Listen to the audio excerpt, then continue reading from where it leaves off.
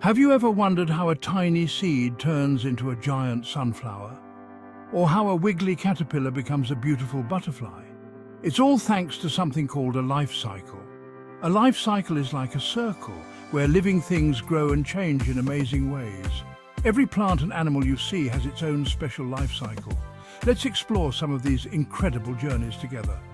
We'll discover the secrets of ladybugs, apples, carrots, butterflies, chickens and even frogs.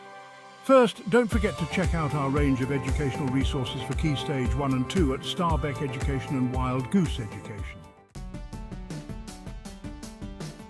Let's start with something delicious, an apple. It all begins with a tiny seed tucked inside the apple core. When the seed falls to the ground and it's warm and sunny, it starts to sprout. This is called germination. The sprout grows taller and stronger, reaching for the sunlight. It grows leaves to soak up the sun's energy. Soon, it's a young apple tree. As the tree grows bigger and bigger, beautiful pink and white flowers bloom. The flowers attract buzzing bees that carry pollen from flower to flower. This helps the flowers turn into apples. Finally, the tree is full of ripe, juicy apples, ready to be picked and enjoyed. And inside each apple are tiny seeds, ready to start the life cycle all over again. Now let's dig into the world of carrots.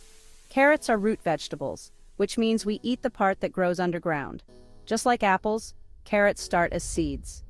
When a carrot seed is planted in the soil and watered, it begins to germinate. The seed sends down a root that grows longer and thicker. This root is the carrot. Above the ground, green leafy stems grow tall to capture sunlight. The leaves make food for the carrot to grow bigger and stronger.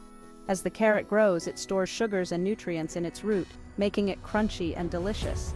When it's time to harvest, we pull the entire carrot plant out of the ground, enjoying both the crunchy root and the leafy green tops. Section 4 Flutterby Butterfly A Transformation Tale Prepare to be amazed by the butterfly's life cycle. It all starts with a tiny egg laid on a leaf. Soon, a tiny caterpillar hatches from the egg. The caterpillar is very hungry and munches on leaves all day long, growing bigger and bigger. When the caterpillar is big enough, it forms a chrysalis around itself. Inside the chrysalis, something magical happens. The caterpillar transforms into a beautiful butterfly with colourful wings. When it's ready, the butterfly emerges from the chrysalis, ready to flutter among the flowers. The butterfly sips nectar from flowers and flits about, eventually laying its own eggs to start the incredible cycle all over again. Section 5, From Tadpole to Frog, a hopping good time. Frogs have a fascinating life cycle that starts in the water. A female frog lays jelly-like eggs in the water, often attached to plants. Tiny tadpoles hatch from the eggs.